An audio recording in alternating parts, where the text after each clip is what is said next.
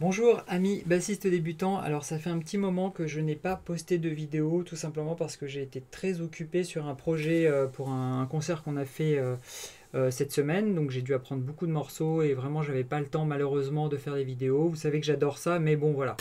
C'est comme ça, donc là je vais reprendre une petite vidéo intermédiaire sur un problème qui m'a été posé entre temps par différentes personnes, par mail, en commentaire ou dans le groupe Facebook. Euh, c'est un vrai problème, on va dire, de, débutants. Je suis passé par là. Et surtout, les gens qui n'ont pas de, prof ou qui ne connaissent pas quelqu'un qui, sait jouer, par exemple, de la base, ben, ils n'ont pas de conseils là-dessus. Et ils peuvent euh, croire qu'ils ont un problème euh, qu'ils vont avoir tout le temps, alors que pas du tout. Alors, de quoi s'agit-il? C'est simplement quand on joue les notes graves, donc qui sont en bas du manche, donc ce sont les notes qui sont ici vous savez qu'il y a une, espèce de règle, hein, mais c'est une règle, euh, voilà, c'est une règle quand on débute, on apprend à jouer comme ça justement pour délier les doigts. Après, euh, voilà, après on a chacun son style et puis bah, on n'est pas obligé d'appliquer ça. Et puis de toute façon, il y a d'obligation dans rien. C'est simplement apprendre à jouer comme ça, ça vous permet d'utiliser vraiment tous vos doigts. Donc c'est la fameuse règle de un doigt par case. Donc c'est celle-ci. D'accord? Et ça, il y a beaucoup de monde qui n'arrive pas à le faire. Déjà parce qu'ils n'ont pas l'écartement des doigts, ça sonne pas, il y a des doigts qui gênent, enfin c'est compliqué et ils ne s'en sortent pas. Alors moi, comme je prenais des cours, j'avais pas ce problème euh, dans, ma tête en permanence, tout simplement parce que mon prof m'a très bien expliqué quelque chose qui, qui, qui était tout à fait juste. C'est quelque chose qui va se régler entre guillemets tout seul à force de jouer. Donc faut pas paniquer, c'est pas un truc que vous allez avoir tout le temps, vous n'êtes pas mal formé de la main ou je sais pas quoi, pas du tout. Moi j'ai pas des grandes mains et quand j'ai commencé j'avais énormément de mal effectivement à écarter les doigts. Mais à force de jouer, ben, le corps il s'adapte et il va, il va commencer à avoir un écartement plus, euh, plus important au niveau des doigts. Mais l'écartement c'est pas tout. Parce que quand on donne la, la règle de un doigt par case, les bassistes débutants imaginent qu'on n'a pas le droit trop de bouger la main, mais au contraire, vous devez avoir la main qui est mobile. Ça veut dire qu'à la limite, vous pourriez jouer comme ça. Vous voyez ma main comment elle est mobile? J'ai pas une main qui fait comme ça, complètement figée. Je peux faire aussi ça parce que maintenant je peux le faire, mais au début j'avais beaucoup de mal. Alors, euh, en général, c'est quand on veut faire des notes qui sont liées. Ça veut dire quand on veut faire vraiment ça. D'accord? Que là, on a besoin d'avoir un certain écartement. Encore que, on peut le faire si on a une certaine mobilité. Par exemple, moi j'ai ce souci-là, entre ces deux doigts, entre le majeur et euh, l'annulaire, j'arrive à faire l'écartement, mais c'est problématique. En général, c'est un petit peu tout le monde comme ça. Donc je sais que j'ai mis en place une stratégie qui a été automatique, hein, de passer directement, de faire un petit saut. C'est-à-dire que quand je suis là, je fais... Voyez, ma main, elle bouge. Mon doigt, mon majeur, il ne reste pas collé là et mon annulaire ici. Ça bouge ici, d'accord? Donc il y a cette mobilité de la main à avoir. Alors, si vous voulez absolument euh, faire un exercice de un doigt par case, déjà il faut le faire lentement. Si vous allez trop vite, ça va être compliqué. Il faut vraiment le faire lentement. Et plutôt que de commencer par les cases dont, euh, les largeurs sont, grandes, il vaut mieux commencer par exemple ici. D'accord? Vous commencez euh, sur le, Do dièse. Et vous pouvez, alors do, dièse ça fait euh, 9e case par exemple, l'écartement est plus petit, et vous pouvez commencer à jouer comme ça. Parce que là, de façon naturelle, sans écarter les doigts, on y est presque. Vous voyez, là, j'écarte pas vraiment les doigts, j'y suis presque. Et ensuite, vous pouvez partir à chaque fois un petit peu plus bas dans, les cases pour arriver petit à petit jusqu'en haut. Et ça, c'est un exercice que vous pouvez faire tous les jours. D'accord? Ça, va, ça va vous améliorer euh, l'écartement des doigts au fur et à mesure. Quand vous arrivez à passer un stade, vous passez un autre, etc. Mais vous le faites vraiment doucement, ça veut dire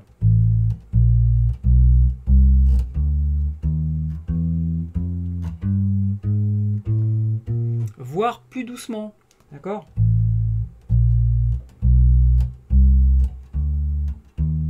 Essayez de faire sonner ça sans qu'il y ait de frisouille, sans que ça fasse ce bruit métallique. ok?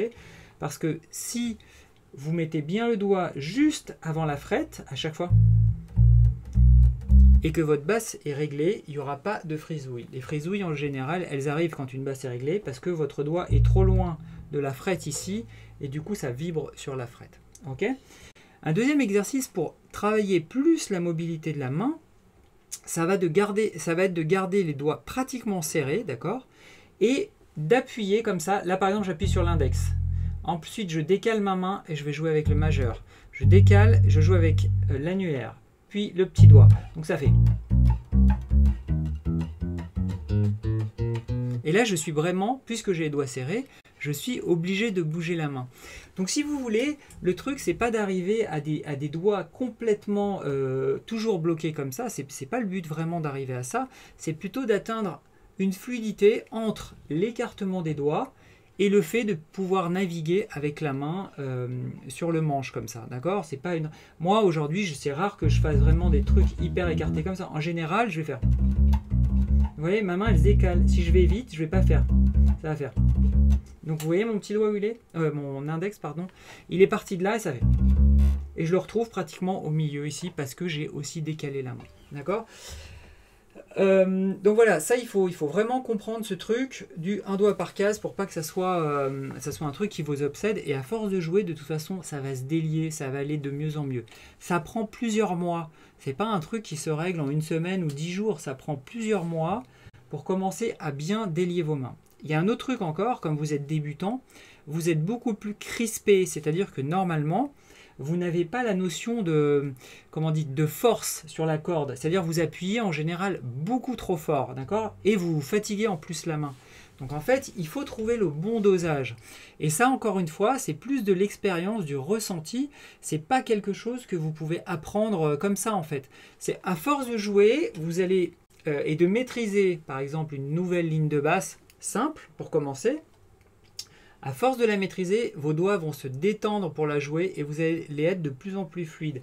Ben là, c'est un petit peu la même chose. Moi, j'ai vraiment, quand je fais ça, j'ai vraiment pas l'impression d'appuyer fort. Pourtant, je dois mettre quand même un certain dosage parce que vous savez, les cordes sont assez fortes euh, sur, sur la base. Sur la basse, pardon, les, cordes sont assez, euh, comment dire, dures vu que ce sont des grosses cordes par rapport, on va dire, à une guitare. Donc du coup, je sais que j'appuie d'une certaine façon. Mais en fait, maintenant, j'ai les doigts qui sont bien musclés, en fait, depuis le temps que je joue. Ce qui fait que j'ai un dosage qui... Voilà, j'ai de la marge dans mon dosage, d'accord? Euh, Parce que j'ai justement maintenant acquis cette musculature spécifique à l'instrument. Euh, si on changeait de technique, je j'aurais pas la musculature, la musculature fait pour, et je serais encore obligé de faire des exercices en repartant pas totalement à zéro, mais quand même, il faudrait que je refasse encore des exercices pour réatteindre la musculature. Votre, votre corps doit s'adapter à l'instrument, qui n'est pas un instrument qui s'appréhende aussi facilement que ça en a l'air. Voilà, donc je voulais déjà rassurer les gens qui avaient ce genre euh, de soucis. Et puis ensuite, euh, il y a des gens pareils qui me disent voilà, euh, quand j'appuie d'un côté, ça décolle trop de l'autre, j'arrive pas à remettre le doigt. Allez-y doucement, faites le truc hyper doucement, le, temps que votre cerveau aussi assimile ce que vous voulez faire, d'accord? Donc par exemple, si vous voulez faire ça, faites-le doucement si ça sonne pas, si vous y arrivez pas. Même si c'est la vitesse de la fourmi, c'est pas important. L'important c'est vraiment d'essayer d'avoir un ressenti au niveau des doigts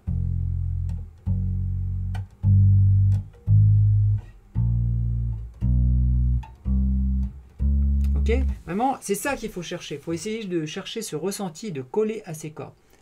Je vous le rappelle, c'est une histoire d'expérience. Il faut aussi jouer assez longtemps pour vraiment sentir ce genre de choses. Ne vous prenez pas la tête. Jouez, essayez que ça soit le plus propre possible, mais jouez régulièrement. Vous allez voir, petit à petit, tous ces problèmes-là vont se régler. Moi, pour terminer, j'avais un deuxième problème, c'est que j'avais beaucoup de frisouilles. Et en fait, c'est parce que j'avais une coordination entre ma main droite qui, tire les cordes et ma main gauche qui n'était pas nickel. Donc du coup, je, faisais pratiquement tout en même temps, alors qu'il y a un très léger décalage qui se fait, qui va venir avec l'expérience, ce qui fait que bah, on entendait un, un truc comme ça à chaque fois que j'appuyais sur les cordes. Mais je n'ai pas fait de travail spécifique pour régler ça. C'est à force de jouer. En fait, si vous voulez, le cerveau, il attend un son particulier. Et donc, il va faire en sorte de l'obtenir. Et pour l'obtenir, ben, il va mettre des stratégies, il va arriver à, vous faire poser les doigts correctement. En fait, vous allez focaliser sur le son et ça va finir par, par euh, arriver. Moi, je n'ai absolument pas focalisé sur les problèmes parce que mon prof de basse me disait ça va venir, laisse tomber. On n'en parlait même pas. ça sonnait des fois pourri et tout. Bon ben voilà, on savait que c'était un truc qui allait finir par se régler. C'est obligé à force de jouer. Ok? Voilà, bah écoutez, je vous fais une petite vidéo comme ça. Là, il n'y a pas de morceau. Prochaine vidéo, euh, je ne sais pas encore trop ce que je vais faire. Et puis j'ai aussi euh, tout ce qui est théorie. Parce que je crois qu'il y a pas mal de monde qui ont bien aimé euh, ces cours de théorie et c'est tant mieux. Donc je ferai aussi, ben, bien sûr, je continuerai ces cours de théorie parce qu'il y a beaucoup de choses à voir par étape et c'est toujours intéressant, même si vous êtes débutant, au moins de regarder, même si vous n'appliquez pas. Parce que le jour où vous allez passer des caps, des nouveaux niveaux, et eh bien ça, vous, vous, allez revenir à la théorie parce que là, pour le coup, ça va vraiment vous intéresser. C'est exactement, en tout cas, moi, ce qui m'est arrivé. Voilà les amis, amusez-vous bien, continuez à jouer tous les jours, et puis à très bientôt, bye